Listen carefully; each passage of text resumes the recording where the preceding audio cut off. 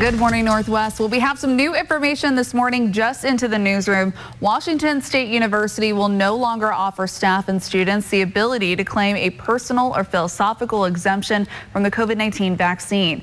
Well, earlier this month, the university announced that it would discontinue the exemptions once the FDA granted approval to any of the three vaccines under emergency use authorization. The FDA on Monday granted full approval to the Pfizer BioNTech COVID-19 vaccine. Courses start Monday in Pullman and all staff and students are required to be vaccinated. Members of WSU's community can request a religious exemption, but the deadline for students to comply is September 10th.